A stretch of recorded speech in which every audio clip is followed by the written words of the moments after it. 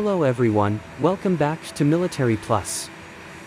A new large area cockpit display and additional weapons are all in the grand plans to get the A-10 ready for higher-end missions.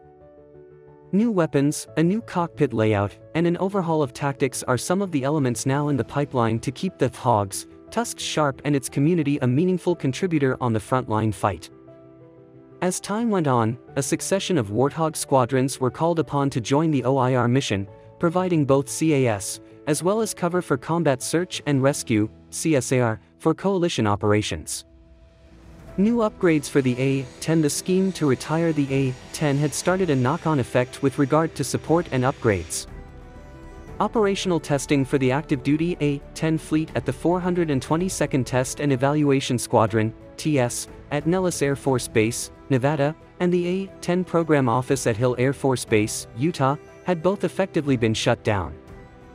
In 2017, the Lightweight Airborne Recovery System, LARS, V-12 was installed on all active duty and Air National Guard and Reserve Command A-10S to allow pilots to communicate more effectively with individuals on the ground such as downed pilots and pararescuemen, explains Air Force Major Matthew Kading, the A-10 test director for the 59th TES.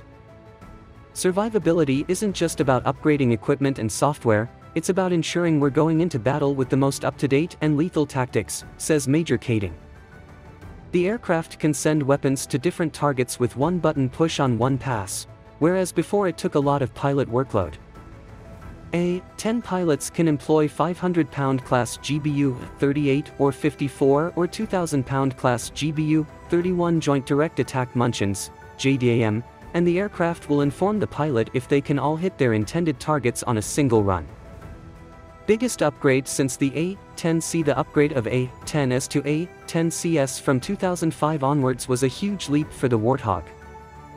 Suite 10 will include multiple target list improvements that will enable the pilot to engage multiple targets with three different weapon types on one pass. Thanks for watching and see you in the next videos.